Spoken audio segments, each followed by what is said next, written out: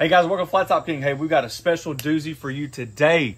We've got asked all the time, at least what, twice, three times a week, when are you doing pizza on the griddle? We've tried it in the past. We haven't been successful. I'm actually anti pizza griddle. But today, we're gonna put three of them to the test, see what you guys think. Can I make pizza on the griddle? It's about to go down.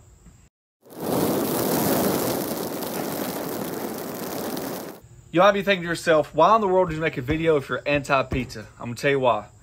Because we promised ourselves when we started the channel that we're going to try to communicate with the people that comment to us because we feel like you guys are most invested. There's a huge following for pizzas on the griddle. We have personally tried them on um, ourselves, and personally, I just feel like we've been very unsuccessful. I'm gonna tell you why. I feel like the griddle does not get top end heat. It gets bottom heat. So you don't get that charred effect of like the browning of what a pizza mentally should be. I actually like my pizza just a hair darker than most, so that's a personal preference. My wife can attest that we've tried and we both looked at each other and was like, if you go through that much trouble, why not just put it in the oven? But there's some people out there that absolutely love pizza on the griddle, and there's some people out there that want to do pizza on the griddle. So we're going to showcase what we got today. You ready? Yep. Let's look at the ingredients. First, I know what you're thinking. This is the deal. Simple. You buy it at the grocery store just like we do. We're going to try that out. Second, we got a couple little flatbreads. We're going to try those out. And third, I've got uh, an actual pizza dough that's rolled out from Publix. This is raw dough. We're going to do our best with it. And we're going to show you guys what it looks like when you put pizza on the griddle and why you should or should not do pizza on the griddle. Keeping it simple today. Cheese, pepperoni, and sauce only. What you add to your pizza is up to you. I'm not here saying that I'm the world's greatest pizza maker. And actually, I enjoy other things on my pizza as well. But today's all about can I make pizza on the griddle? And which crust is the best? Yeah. You ready? All right, I've got my Pit Boss griddle on low. We've got our Cuisinart rack and dome combo. This is just the lower portion of it. I use it all the time. We're going to set that up just to allow that crust to get off the griddle because remember, that's where your heat source is at, right? It burns fast, so you got to be very careful. One thing I will say about griddles, uh, if you guys notice, we don't have our Camp Chef anymore. We've officially, quote unquote, sold it. It's gone.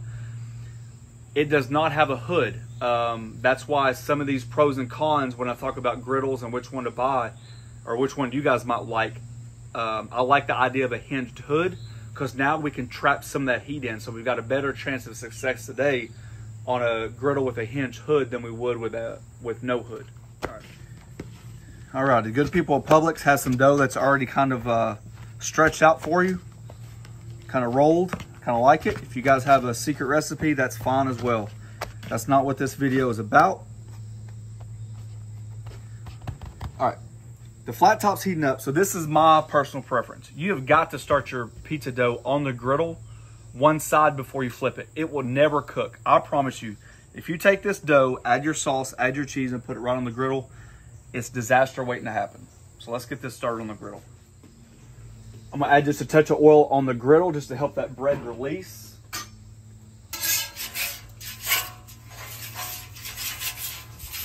So you're almost like par cooking your raw dough.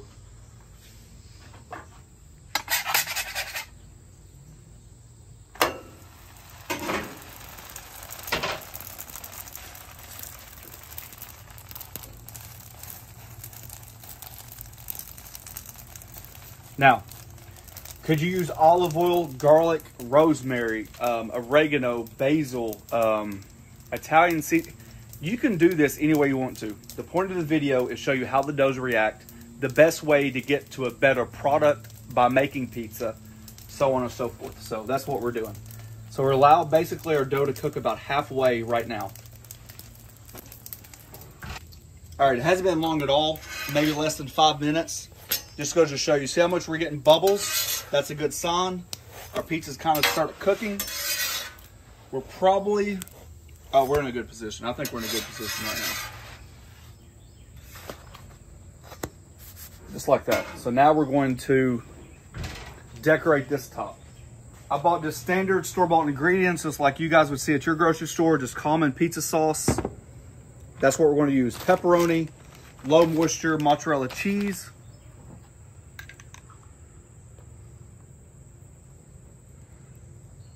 I will say that I do think you can get away with thinner crusts on the griddle a lot easier than you can thick crust.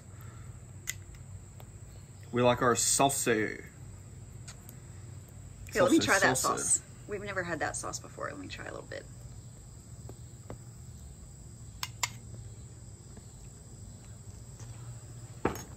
Mmm. That's good. You like it? I would buy that again. All right, I'm not going to overdo it with the cheese. Like I said, it's extremely hard for that thing to have 360 degree heat.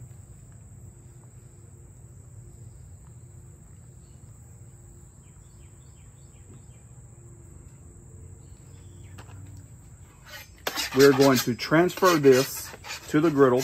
And About the same thing. We're to let it cook for maybe three to five minutes, and then we're going to rotate it and get it off the griddle top so it doesn't burn.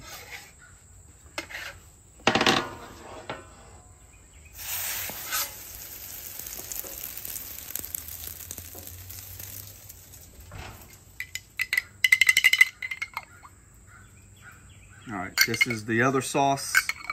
So basically what we're trying to do is get that, that uh, dough to the idea of the dough right here, right? From fresh versus pre-baked. So we actually don't buy this dough at all. I don't know if we've ever bought in this dough. Bought? Is that a word? Let's say purchased. Yeah. I've always got the fresh or done something different. We have been uh, kind of successful at biscuit pizzas where you take uh, like grand biscuits, roll them out, put a little cornmeal crust, and then turn around and uh, put pepper, smash them, roll them out. That's what I mean, and then put pepperonis on them and cook them. So I think you're a lot more successful. What do you think? Half and half? Yeah, the kids like cheese. Maybe a little extra cheese for the kids. I don't know if you can go extra cheese. It ain't ever gonna melt. No work.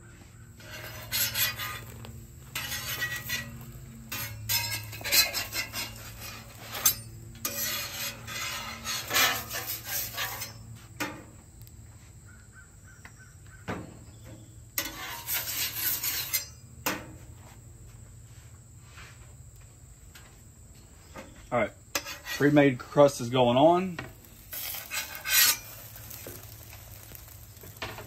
All right, we just got uh, one small naan. Same thing, cheese pepperoni. Hey, put the toppings on it you like.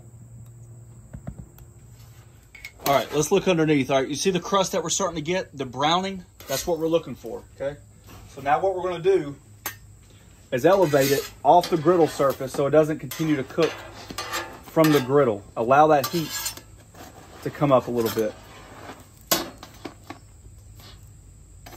So that's going to sit over there. Remember on my pit boss, this is the cooler side of the griddle as well. Take a look at this. It's get a little dark. That's fine. Same thing, right off the heat. Now we're to close the lid and allow that heat to start circulating. That's how you're going to get that melted cheese. It's going to melt through the bottom, but ultimately, you know, I like that that just light browning where the dough get oh all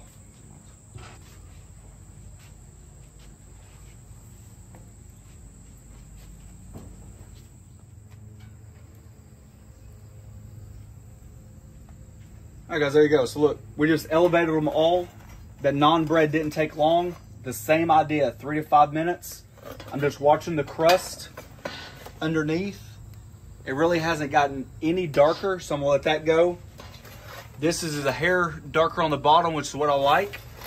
We let it sit on there for a little bit more, a uh, couple more minutes. And now I'm just rotating the the um, the dough just so it has a chance to cook evenly. All right, so this is the hard thing to understand. This is why I always feel like pizza, although it can be done on the griddle, is it the world's greatest pizza? No. Should you use other alternatives? Yes. If you're going camping, is this a great alternative to do? Absolutely. Matter of fact, just do what you want to do. I'm just showing you the truth. Can the pizza be done on the griddle? Absolutely. See how the pepperoni's melting, the cheese is melting. You just don't get that 360. The pepperoni's really not curling.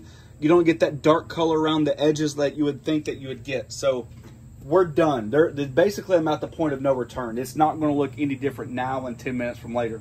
But you don't want to overcook your dough either, right? We're not making crackers. So I'm just going to slide it off. Just let that bottom hit that griddle just for a couple more seconds.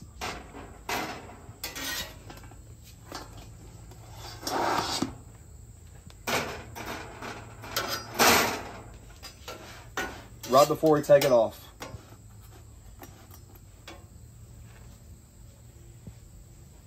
All right, there you go, guys. One thing that my family does, I just like a little extra. We take fresh Parmesan cheese. Bob, this is the one time I do not use Parmesan cheese in the can, but to each their own. I just like to top it off. I microplane some fresh Parmesan. Love the nuttiness.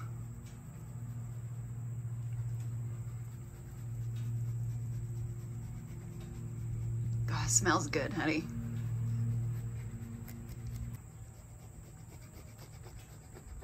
Now the true test to see if you can wait long enough for the pizza sauce not to burn your mouth.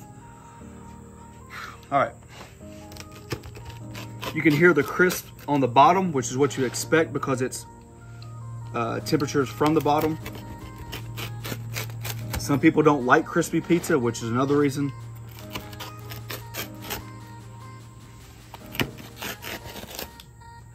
I know you say you're anti-pizza on the griddle, but that looks pretty dang good, babe. I didn't say I was anti-pizza. Just anti-pizza on the griddle. Ah, you know, it's just one, it's like a personal preference. You know, some people swear up and down they like this, they like that. You know, if I'm gonna take all the time and effort and ingredients and really make a pizza from scratch, from dough to a good, uh, like a homemade tomato sauce to all that, I just think there's other ways to cook it besides the griddle. That's why I keep telling you, it's not about whether or not you can do it. It's what the results are at the end. And that's what I think matters, right? So. Hey, let's see which one's better. Nice little charred bottom. I'm okay with that.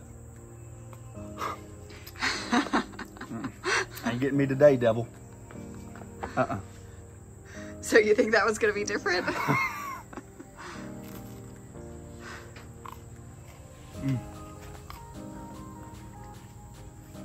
Is it, can I have a bite or will it burn me?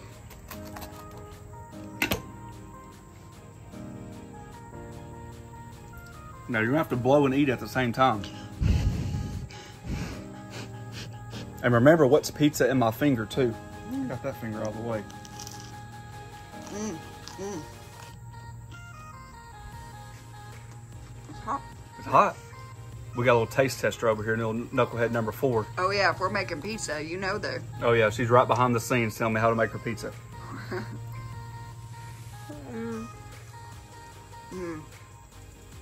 It's pretty good, baby. I just think it gets overdone on the bottom before it gets done on top.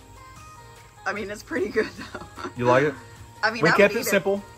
That one sauce that we got, the uh, the different sauce, uh, I thought was really robust and intense. I actually liked it uh, quite a bit. All right, and this is the naan.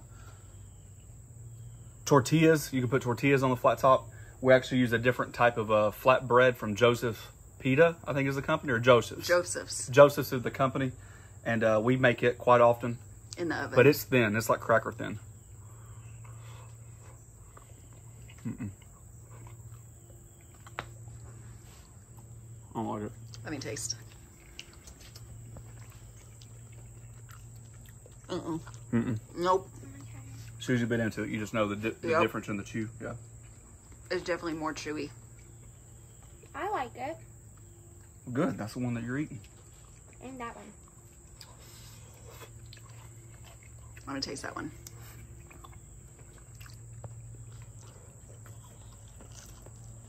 Mm. I have to be honest with you. I'm extremely surprised about the pre-made dough. If I had to do it all over again, I'm, if I was going to do it on regular, I'd probably start the pre-made dough just for a couple minutes on one side, the original side, and then flip it just to help the cooking process. Would you say you like that one better than that one? Nope. You I like, that one I like better this than one. Is it because the chew the crunch. What? Why? Why? Why do you like the difference? I I just I like I like this dough option better. I like, I like this one better. The little one? Are you kidding me? So I'll so uh, microwave queen likes this one. I like this one, and Knucklehead Junior over here likes the little one. It's unbelievable. That's why I tell you, hey, can you cook pizza on the griddle? Yeah, you can. You got to find out which dough you like.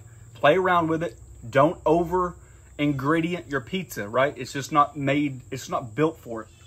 But ultimately, you can have success. I mean, is it our deep dish pan Domino's? No. Don't tell them that. They'll unsubscribe. we like our Domino's. All right, guys, there you go. Hey, she's chowing down. It's dinner time. We enjoyed making pizzas today. What tricks do you guys have up your sleeve? Could there be something out there we don't know about?